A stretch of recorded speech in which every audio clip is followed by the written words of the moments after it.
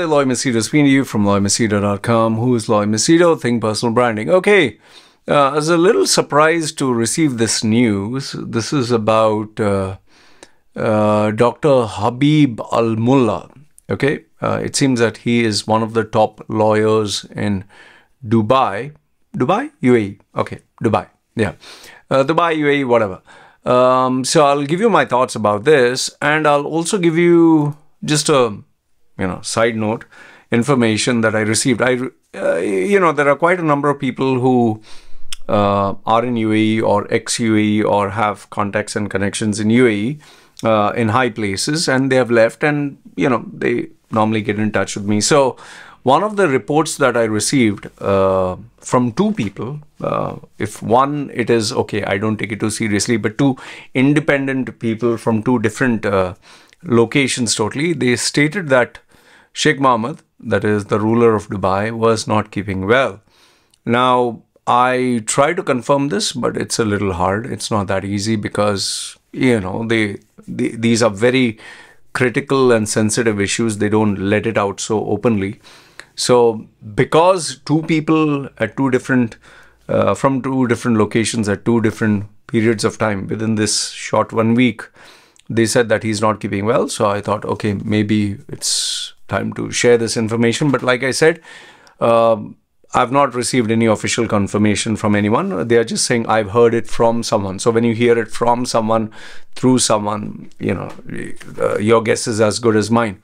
So if in case it is true, I I genuinely, genuinely, I, I hope he gets well soon because, you know, as it is, we are seeing people who were close to us or people whom we have been born under their dynasty or legacy or uh, rule. Um, they are just, you know, vanishing one by one. And especially the late Queen Elizabeth, uh, Queen Elizabeth II, she just died and it was really sad.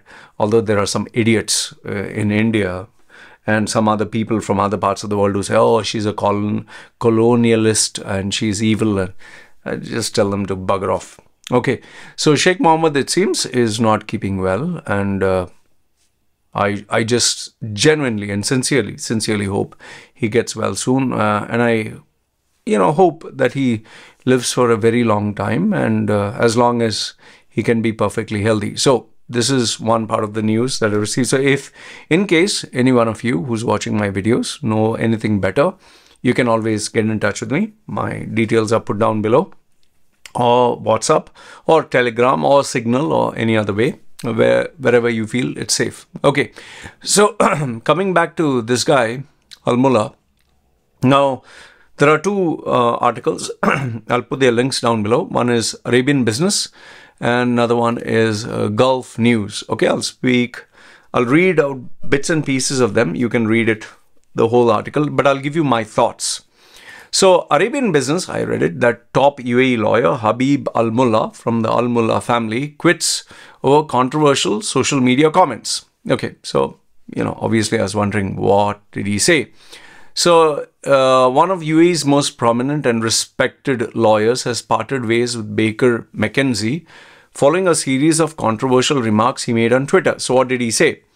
In a post last week, Dr. Habib Al Mulla described homosexuality as problematic, not only the ugliness of the act, but in the necessity of atheism by its nature. Okay. He also added that Individuals who practice perversion in secret is committing an evil act and disobeying the creator. Now, what do I think about these statements? See, uh, Muslims or Islam or any other religion, you check Christianity, you check Islam, you check uh, even Hinduism, okay, even Hinduism, I, I don't think there is any religion that endorses homosexuality, okay? Uh, man and women, they believe man and women, they are two genders and they are created for each other to, uh, you know, have sex and have children, to get married and have children. So that is as per religion. Now, obviously, as time has passed by, people have, um, you know, homosexuality is not that it has just started new. It was always there, but it was not discussed openly or thought about openly, even though it was practiced. And uh, they thought this was more like a deep, dark, dirty secret, something that you do when you're absolutely intoxicated or drunk or you didn't have any morals or values. So they used to practice homosexuality and obviously the different versions of sex and going wild and crazy and erotic. Okay, it's just that now, um, ever since I would say that social media started and communication has been more and more open, have they realized that homosexuality is not a rare thing or not a disease or not being you possessed by the devil? It is a sexual preference. People have a preference. Okay. Now, the only thing is where Islam is concerned, because Islam is slightly more strict, it is, for lack of a better word, it is prehistoric in its uh, uh, rules and implementations that uh, they openly they openly say it is not acceptable. Now in that doesn't mean christianity it is acceptable. Christianity also but it's rather see christianity is not implemented so hardcore. It is rather more of uh, they tolerate it but in islam it's more strict they do not accept it. That is why Christianity, you will hear people make jokes about Jesus or they they might draw a funny image about Jesus and all that. So even though there may be a controversy, but people are not going to oh, you know, how dare you and, you know, going to kill and this and that. But in Islam, if anyone um, does anything that, you know, speaks or jokes about Prophet Muhammad or Islam or Allah, or leave even leaves a religion it's considered uh, apostasy. It's considered a violation. It's a very big thing. Uh, and it stems from the upbringing okay? In christianity they they like forgive and forget but in islam you are supposed to love allah and you're supposed to love prophet muhammad more than your parents more than yourself more than anything in the world. So uh, dr habib al mulla who has been raised which I'm I'm pretty I'm assuming he has been raised in the values of Islam and who has been taught that you know homosexuality is a sin. This is what he was taught right from the time he was a child. He was taught that Islam is true, Allah is real, and homosexuality and all that is bad. So this is what he states. Now, what he what he's stating is it wrong? No, as per Muslims, as per Islam, as per what he his religion, he is right as per his religion. However, it may not be acceptable to people who don't follow Islam or who are homosexuals or the LGBTQ community. Okay. So he's right where he is and you are right where you are. Okay. So in his statement, the company said after discussions, recent discussion, Baker McKenzie and Habib, Dr. Habib Al-Mulla can confirm they'll be parting ways the separation process is underway and we remain committed to supporting both clients and employees in the UAE and wider region. Okay. See, the reason why Baker McKenzie has done this is because Baker McKenzie is a global company. It definitely does not want to be seen as a homophobic or transphobic or any of the phobic kind of, um, you know, taglines they don't want. However, Baker, uh, this Habib Al-Mulla is a UAE citizen. He is a Muslim. He doesn't give a rat's ass about what what phobic or whatever uh, title you might put, being a follower of Islam, he is true to his religion and so he doesn't give a damn about all this. And in fact, if you look at it, all the Arab states, all the Muslims in the Arab states, and Muslims abroad also, especially who are from very conservative or reserved backgrounds, they do not support and they do not endorse homosexuality. Okay, even for that matter, Hinduism or Christianity, they do not endorse this. But however, where Islam is concerned, it's a little bit more uh, pronounced. Now, I can assure you and challenge you on this. If you were to talk to a Muslim Arab or any Muslim and say homosexuality, maybe, you know, when he's in a public platform, he'll say, you know, they can do whatever they want. Uh, it's their business. But in our religion, it's not allowed. But I can assure you this much that none of the Arab Muslims or none of the Muslims uh, would tolerate this uh, lifestyle choice with their family members or with the people that they love. They will not accept it by any means. Maybe in a public platform, they'll be very diplomatic about it. Depends on what leadership position or uh, position they occupy in society. Okay. So, uh, in the statement continued, Baker McKenzie strongly believes that however much we may disagree with the beliefs and personal view of others, we must find ways to disagree respectfully, encourage inclusive dialogue, and ensure an inclusive work environment for all. Any social media comments by Dr. Habib represent his own views and those and not those of the firm. Well, obviously, because you know they want to show a global identity. Okay. Uh, on the company's website, it describes Al Mulla as one of the most one of UAE's most highly respected legal authorities who has 38 years experience in UAE law and drafted many of the modern legislative structures in place in Dubai today. Dr. Habib is a strong advocate of improvement and modernization of UAE laws. He's a frequent commentator of the legislation and economy of the UAE and often consulted to draft and advise on federal and emirate level laws. Dr. So he's very accomplished. Basically, he's very accomplished and he has achieved a lot. Okay. Dr. Al Mulla created the concept of financial free zones in the UAE and was the architect of legal framework establishing the DIFC DIFC, that is Dubai International Financial Center, and the first financially free zone in the UAE. Dr. Habib also served as the chairman for the Legislative Committee for Dubai Financial Services Authority. So he's a very accomplished individual. Okay. He published many books and articles on UAE law and economy, including a two-part book on his life work titled Life's Harvest, a definitive selection of his writing on the laws and politics of the economy of UAE over the last 26 years. So an extremely accomplished individual.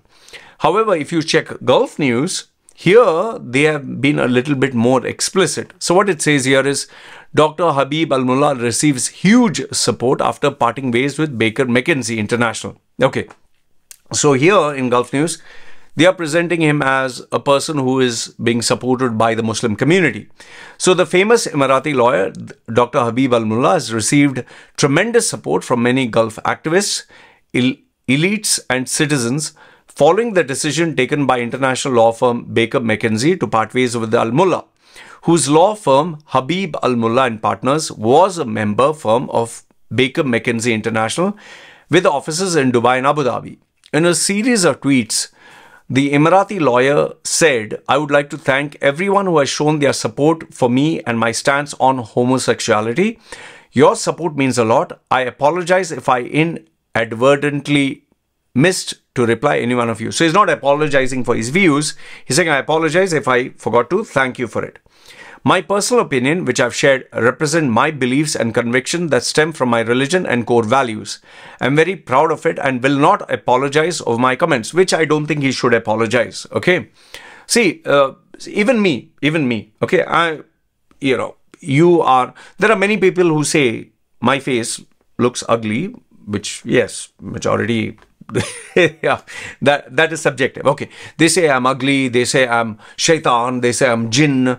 And it's not just Arab Muslims. There are Hindus. Uh, there are not Hindus. Sorry, Indian Muslims who tell me that I am the Antichrist. Uh, really? Yeah, they really they they tell me, please, brother. You know, very respectfully they they tell their family members they, i i know friends who have actually told their other friends you know he's he's the jinn. I'm the antichrist. I'm the re you know i'm born to destroy the world and this and that and whatever. And they even show me some youtube videos where it says 666 is the mark of the devil. I don't know which part of my face is 666 and they believe strongly believe that i am the second coming of the antichrist. Wow woohoo. Okay fine. But so, um, and yes many of them have even they have offered uh, you know like uh, hidden messages to my wife. Uh, you know, protect your daughter. Oh, I pity that girl. She's going to be taken into the dark side and all that. It's kind of cool, actually, if you look at it. I don't feel bad. Okay, it's their religion that they, they have been brought up, and some of them even consider dogs as dirty and uh, satanic life, like eating pork and eating all that. So fine, I, I'm not saying anything wrong. It's your belief. It's your belief, your life. Okay, like I've always told you, it's okay to believe whatever you want. You want to believe in unicorns, UFOs, uh, Amun-Ra, Thor, Spider-Man, Zeus. As long as you're not hurting and harming anyone, it's okay to believe. You can even believe in a one-eyed, uh, you know, purple people eater.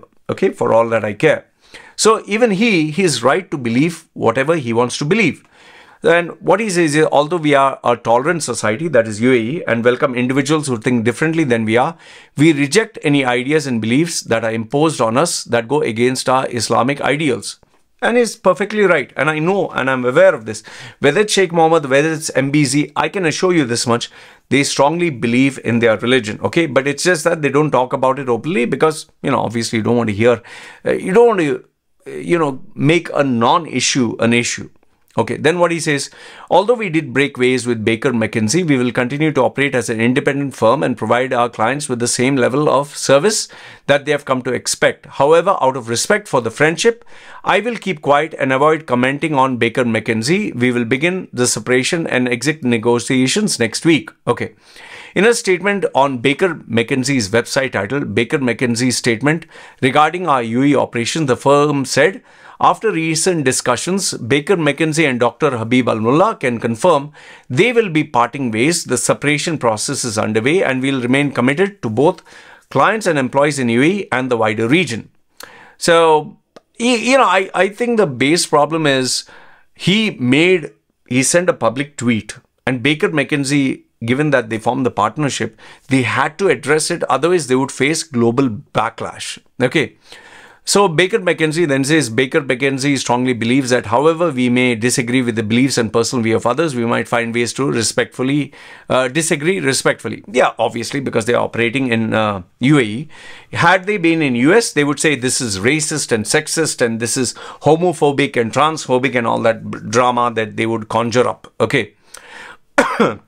then it says here on September 6th, Dr. Al Mulla posted a Twitter thread in Arabic commenting on the problem of the thought and movement of homosexuality in the West. Actually, I, I don't see any problem with homosexuality. You want to love someone of the same gender or you want to love someone else, it's up to you. You're not harming, hurting anyone.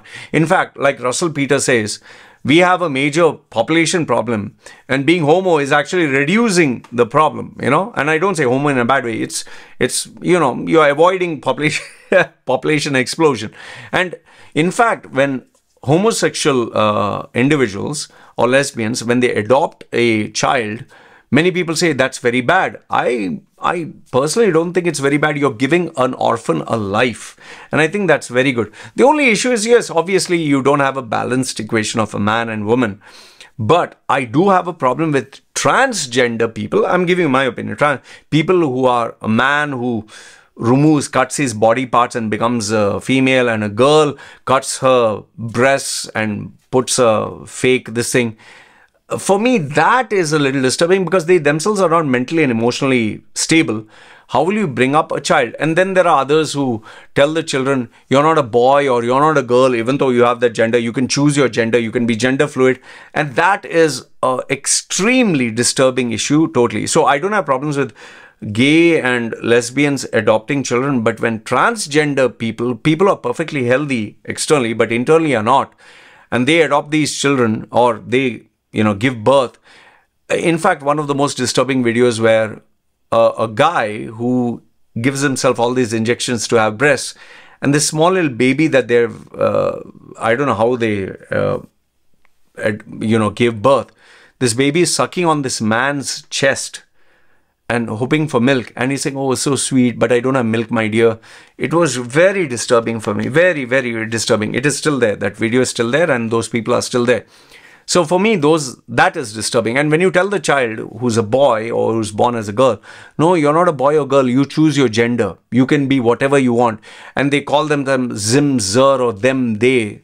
For me, that is disturbing. Anyway, that is a different uh, matter altogether. But like I said, they might be different we should not hate them, but at the same time, we should not encourage them to, you know, kind of spread this to schools and colleges and children. That I'm totally against, and that is where I totally agree with the American Republican Party, where you should not be teaching, especially sex education, to small children and should not force them to learn all this and normalize this kind of behavior. No, I'm sorry. When they are an adult, teach them this because if you teach them when they're young, as it is, they're confused, and then they'll have all these confusions. Oh, maybe I'm in the wrong gender. And if they undergo operations like you have in Canada, even small children can undergo surgery and the parents are not allowed to say anything. That to me is very, very disturbing. So the problem is you deal with one issue, then you bring bring up another issue and it never ends. So anyway, sticking to this. Last week he tweeted a video poster on TikTok featuring several young Emirati women talking about being in a safe space that allows them to be who they are to mark Emirati Women's Day. One of the participants said, No matter what you look like or feel inside, you're not alone. To which he responded with the tweets that said in the statement to the woman in the video is used to express feelings of homosexuals. See, this is the problem. A lot of, by the way, a lot of Emirati young women today are opening up uh, men and women about homosexuality, not just Emirati, Saudi, and I many of them send me messages because obviously my videos are theirs. And I tell them this that, see, listen, as long as you stay in UAE or Saudi, don't declare this openly. If you leave UAE or you, you know, you're earning your own and you're independent, then you do whatever you want. But as long as you stay there, don't make this open. Others, you'll open a can of worms and a lot of problems. Because remember, it's the family is doing what the family believes is right, but may not be right for you. And if you're an adult, just move, leave, you know, and then do whatever you want. But as long as you stay in the country and in the family, don't. Just don't. Even having a tattoo, I tell them, listen, don't. Put a henna design, don't put a permanent one. Okay. Al Mulla pre- had previously lauded the statements by the Telecom Regulatory Authority and Media Regulatory Office of the UAE regarding the violation, uh, violating contents of Netflix platform. That's another one. I, I, by the way, I watched that Disney Plus uh, cartoon of uh, that what is that Toy Story guy. They made it a big issue of two girl cartoon characters kissing and getting married and having a child. Uh, and this everyone boycotted it, even people in USA. I watched it. It was it was boring. It was terrible. Uh, yeah, it was shocking to see that uh, they are encouraging this in cartoons now. Uh, but that was okay. Fine, you made it. But then the cartoon at least should be fun. The cartoon itself was pathetic. It I don't know why or how, but every woke movie that comes out, like She-Hulk and all that, I've watched some of it. It's if the story was good, fine, it's fun. But it's it's terrible. I don't know why they are doing. Even Eternals, they ruined it. The MCU, they have ruined it. Hmm. Anyway, the statement indicated that it was noticed in the recent period that the Netflix platform broadcast had visual materials and content that violates the controls of media broadcasting in the UAE and contradicts the societal values of the state. I think what is happening is all the Arab states agreed. They're saying, okay, you want to be modern, you want to be out there, you want to be, you want to show that you're uh, accepting people and, you know, you're not being like uh, a Saudi hardcore Islamic state. Fine. But stop pushing your agenda of homosexuality, of LGBTQ plus, of alcohol, of all this in a conservative Islamic uh, lifestyle, which I think they are very right to have these rules. And I, I'm sorry, but I disagree with the LGBTQ community. Even people who are tattooed, even people who are this, don't try pushing your agenda on someone else. If they don't want, they don't want. Okay. Just as, you know, just because you believe in, oh, open sex and open this and open that, doesn't mean the whole world has to listen to you, and that doesn't mean they are backward. There are many things that people who are forward do so much forward where they even consider being a pedophile as, oh, small, what? A small people, a small people uh, loving person, people who love small people. No, I'm, I'm sorry, I find that extremely disturbing, okay? Even being a lesbian, being gay is fine as long as you don't start brainwashing small children in schools and colleges about this. Let them grow at a certain age and then talk about sex education, even sex education, uh, talking, oh, your gender, you know, your private parts, you can be whatever you want. That doesn't define. No, that is very disturbing. I'm sorry. Today we are living in very disturb, disturbing times where I would rather prefer people being taught the values of religion than the values of sexuality and open sex. Seriously, even though I'm an atheist, I'm telling you this. Anyway, I I don't uh, disagree with uh, Dr. Habib Al Mulla, even though even though uh, I'm sure he would say tattoos are evil, I look like shaitan and all that. I agree with this guy, and I think UAE should preserve its its values, its identity, its heritage. And if they are not comfortable with the LGBTQ kind of lifestyle being promoted, it's a country, you respect the laws. And there are countries that accept you, there are countries that don't, there are countries that have its laws. We need to respect them and we can't push our agenda everywhere. And that is where the LGBTQ community, I very much vehemently disagree when they start putting their you know banner and their pride everywhere even in qatar right now. They're saying oh you should allow us to drink booze and alcohol and do our lgbtq stuff. No. Do it quietly. Respect the laws of the country. You don't like it? Sit at home. That's it anyway this is what i have to say. Feel free to disagree. Bash me up as much as you like in the comment section below. But i believe a country's rules should be respected. A country has its you know formal uh, accepted religion traditional values. You can't come with just because you're this new generation hey listen follow our values and change your islam change your christianity change everything and become like us. No i'm sorry. It doesn't work that way this is what i have to say. Let me know your thoughts. And yes if you do know anything about sheikh mohammed uh, any updates feel free to share it with me confidentially. Having said that this is me signing off. You guys take care. Bye. Are you fed up of life? Earning a pathetic salary, working long hours, having an ungrateful boss, facing office politics. The constant fear of losing your job, and after paying rent, groceries, shopping, and children's expenses, you were left with hardly any savings. Is this the life you dreamed of? Or do you wish to change your life forever? Meet Loy Machedo, the world's number one personal branding coach. He will help you identify the real you. Position and sell yourself by getting the job of your dreams. And make good money anywhere in the world. If you do not believe me, Google his name, Loy Machedo, and you will find 2 million web links online and over 200 recommendations from very happy clients. So the question is, do you want to change your life?